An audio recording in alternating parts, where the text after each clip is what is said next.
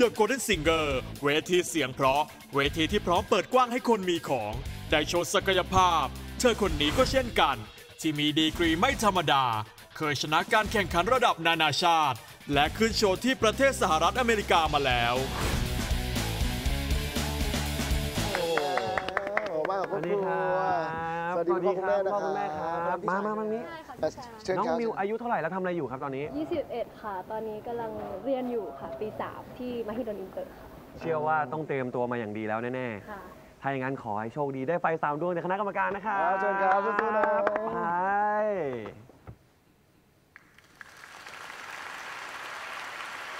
สวัสดีค่ะ สวัสดีครับ สวัสดีค่ะ สวัสดีครับ แนะนำตัวเลยค่ะค่ะ สวัสดีค่ะ ชื่อนุชประวีข้องรอดค่ะ ชื่อเล่นชื่อมิวค่ะ ตอนนี้กำลังอยู่ปี 3 ที่มหิดลอินเตอร์ค่ะแล้วเริ่มต้นร้องเพลงตั้งแต่เมื่อไหร่อะไรยังไงเล่าให้ฟังหน่อยค่ะโหนานมากแล้วค่ะ ตั้งแต่เด็กมันเริ่มต้นจากตอนแรกเนี่ยเรานั่งรถโรงเรียนค่ะ ตั้งแต่อนุบาลเลย แล้วเราก็เริ่มตามร้องตามเพลงที่คุณลุงเขาเปิดบนรถร้องตามมาเรื่อยๆ กลายเป็นว่าอ้าวเกิดเจอความรักซะงั้นก็เลยจริงจังค่ะ แต่ว่าชอบอีกอย่างหนึ่งก็คือชอบฟังเพลงดิสนีย์มาตั้งแต่เด็กใช่ค่ะแล้วเคยผ่านประกวดเวทีอะไรมาบ้างไหมครับ ค่ะก็เคยอ่าชนะรายการของต่างประเทศค่ะของ American Prodigy ชื่อว่า We Sing Pop ค่ะ แล้วก็ได้มีโอกาสไปอ่าร้องเพลงที่ Carnegie Hall นิวยอร์กค่ะค่ะแล้วก็พามีพี่เข้าหน่อยได้ไหมฮะโอ้โห Carnegie Hall เนี่ยพาเข้าไปดูเฉยๆอะครับก็ยังดีครับพาเข้าไปดูเฉยๆเป็นไงตื่นเต้นไหมฮะ ได้ไปร้องในคาร์เนกี้ฮอลล์ ตื่นเต้นมากค่ะมันมันเป็นประสบการณ์ที่ไปร้องเพลงต่างประเทศครั้งแรกของหนูเลยอ่าค่ะเก่งมากเก่งมาก แล้วสงสัยว่าว่าไปประกวดที่อเมริกาได้ยังไงอะครับ คือตอนนั้นมันเป็นการส่งคลิปประกวดทั่วโลกค่ะ แล้วเขาก็เลือกที่แต่คนละที่เข้าประเทศตาใช่ค่ะ แล้วก็สำหรับคนที่ชนะก็จะได้ไปแสดงที่นิวยอร์กค่ะอ๋อว้าวว้าวว้าวสุดยอด สุดยอดเลยเนาะผ่านเวทีระดับคาร์เนกี้ฮอลล์มาแล้วแล้ว ทำทำไมไมถึงยังมาเวที มารายการนี้ฮะ อืม เอาจริง ๆ หนูรู้สึกว่า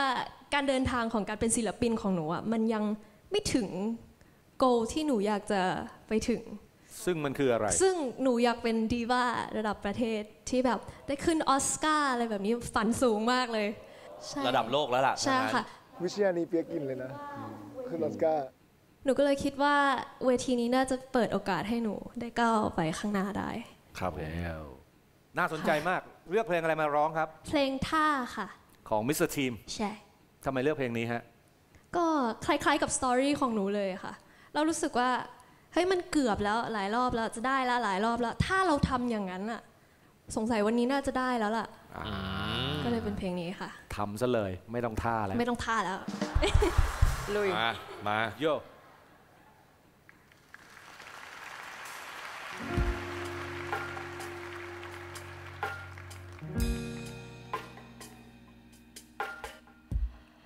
ถ้าขับรถไปไม่มีเสียงเพลงถ้าห่มผ้าเองแล้วมันไม่หนาวเธอก่อนเข้านอนไม่ต้องมองดาว ถ้าหากข้าวของไม่กองอย่างนั้น ถ้าไม่อ่านรายชื่อเมนูอาหารถ้าไม่ผ่านมุมเดิมที่ดูหนังสือถ้าไม่เจอรอยเปื้อนจางๆที่ผ้า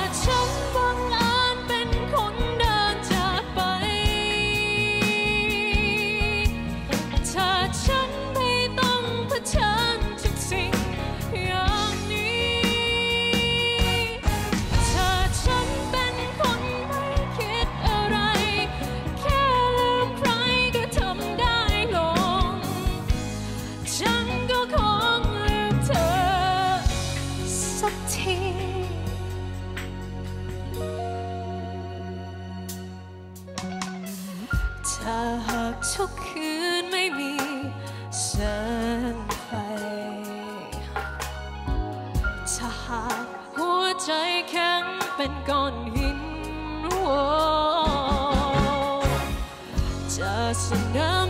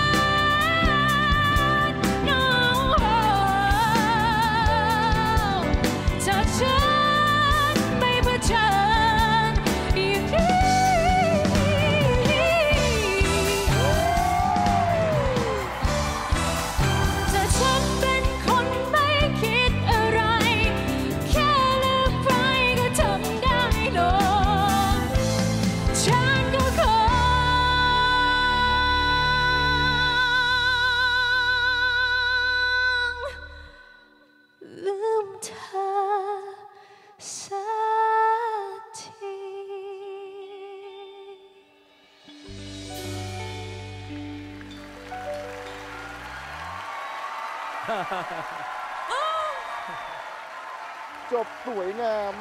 แต่เรายังต้องมาลุ้นกันต่อนะครับ ว่าจะได้กี่ผ่านจากคณะกรรมการครับ ดีว่าจริงๆด้วย โล่งอก ดีว่ามากๆเลย มาก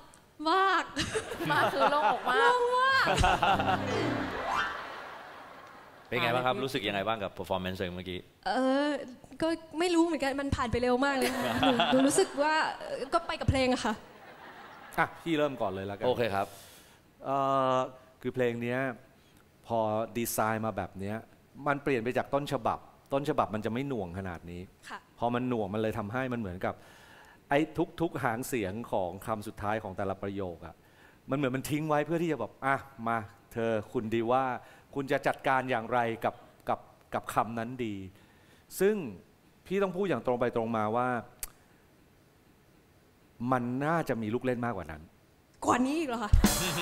ได้ค่ะ yes ได้เลยค่ะ ในช่วงแรกเขาอาจจะน้อยไปอืมอืมอืมแต่พี่พี่คิดว่าอาจจะเป็นกราฟที่เขาตั้งใจสร้างมาอันนี้ในมุมพี่นะไม่ผมแต่ผมเข้าใจป่านะว่าอืมเพราะผมถ้ามาคิดทางคนี้ล้ายแล้วๆกันนะเพราะว่าอืมมันมันไม่ใช่ว่าลูกถ้าสำหรับผมไม่จำเป็นว่าเออต้องลูกเล่นเพิ่มเพราะว่าหนูก็ใส่ไปเยอะเหมือนกันอืมค่ะแต่ว่าในความที่จังหวะกองอะมันปึบมันแน่นมันหนักอ่าา ในในความ attack ในความปล่อยผ่อนหนักเบาในบางช่วง มันต้องรู้สึกว่าเราโยกไปกับมันมากกว่านี้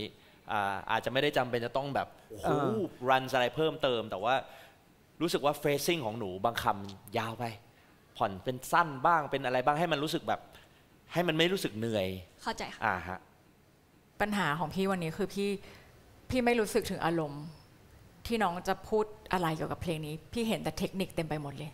ค่ะ แล้วพี่ก็อยากจะมีคำถามให้น้องลองกลับไปนอนคิดดูคืนนี้ว่า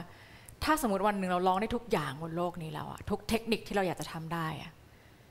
แล้วมีคนที่เขาร้องเก่งเท่า ๆเราอะสิบคนยืนอยู่ด้วยกันอะ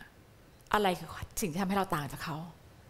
ก็น่าจะเป็นเรื่องอารมณ์ค่ะ ใช่ เพราะว่าเมื่อมันถึงจุดหนึ่งอะศิลปินหรือนักร้องที่ร้องได้ แตะมาตรฐานที่สูงที่สุดระดับหนึ่งอะมันไม่มีเรื่องอื่นแล้วนะอืม แล้ววันเนี้ยสำหรับพี่พี่รู้สึกว่าพี่ได้ยินแต่เทคนิคเต็มไปหมดเลยอะพี่รู้สึกว่าพี่ไม่ได้ไม่รู้สึกถึงอารมณ์อะค่ะค่ะ ขอบคุณค่ะอะถ้างั้นผมเริ่มก่อนละกันในเรื่องการตัดสิน ในการแสดงวันเนี้ยพี่รู้สึกได้ว่าเทคนิคที่เอามาใช้กับเพลงที่เตรียมมาในวันนี้เนี่ย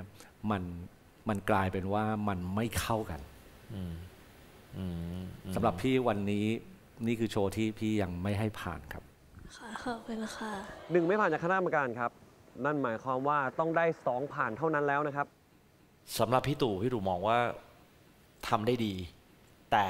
ยังไม่ได้เป็น perfect show มันยังมีแผลเล็กๆ น้อยๆนะครับในในในการในการ perform ครั้งนี้ แต่ว่าถ้าสำหรับพี่ตู่พี่ตู่อยากเห็นโชว์ต่อๆไป ซึ่งเชื่อว่าหนูมี สกิลที่จะทำให้พวกพี่ว้าว แล้วก็โชว์ความเป็นดีว่าของหนูได้มากกว่านี้ เพราะฉะนั้นให้ไปต่อครับขอบคุณค่ะหนึ่งผ่านครับจากพี่ตู่ครับลุ้นจากพี่แพทย์นะตอนนี้ต้องได้หนึ่งผ่านจากพี่แพทย์เท่านั้นนะครับอ่าเมื่อกี้พี่แพทย์ก็ลุ้นพอๆกับหนูเลยนะครับ ว่าพี่ตู่จะตอบว่าอะไรผ่านเฮ้ยข้างหลังอะไรล่ะมีน่ะกดดันมาจากข้างหลังด้วย บนเวทีเมื่อกี้พี่รู้ว่าน้องมี แต่น้องไม่ได้แสดงเมื่อกี้ ราะฉะนั้นผ่านค่ะสองผ่านจากคณะกรรมการครับว้าวพ่อครับสองผ่านครับพ่อแล้วเจอกันเจอกันครับ ครับผมสวัสดีครัขอบคุณนะครับขอให้โชคดีครับด้านหลังเลยโอ้ยชื่อมาก่อนคุณแม่ก่อนเร็ว เมื่อกี้ความความรู้สึกจากที่กรรมการคอมเมนต์เราเรารู้สึกกับคำติชมต่าง ก็ก็ก็เห็นก็เห็นด้วยอืค่ะม แบบคิดว่ามันมันก็เป็นแนวทางให้เราอืมให้เราอืมนั่นหมายความว่านะตอนนี้เรารู้ทางแก้แล้ว อืม และนั้นตอนนี้เราก็ได้รับโอกาสแล้วด้วย เพราะฉะนั้นนะครับ รอบหน้าหวังว่าจะทำการบ้านมาเสร็จแล้วรอฟังโชว์ต่อไปของน้องนะ แต่วันนี้ครับผ่านเข้าสู่รอบคัดกรอง